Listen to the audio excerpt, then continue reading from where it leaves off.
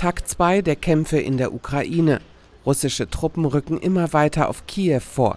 Die ukrainische Hauptstadt wird laut Regierung aus der Luft beschossen. Die Einwohner bangen um ihr Leben. Derweil gibt sich Moskau auch im diplomatischen Bereich kampfesbereit. Auf das verschärfte Sanktionspaket der Europäischen Union kündigt Moskau prompt Vergeltungsmaßnahmen an. Brüssel will nun auch das Vermögen von Russlands Präsident Wladimir Putin und dessen Außenminister Sergei Lavrov einfrieren.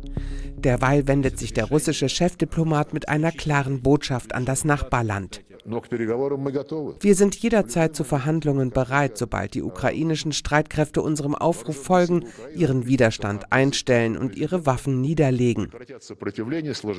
Lavrov fügt hinzu, dass die russischen Truppen die Ukraine von Unterdrückung befreien wollen. Die Aussagen deuten darauf hin, dass Moskau einen Sturz der Regierung in Kiew plant. Der ukrainische Präsident Volodymyr Zelensky beklagt, dass der Westen zu langsam sei mit seiner Hilfe.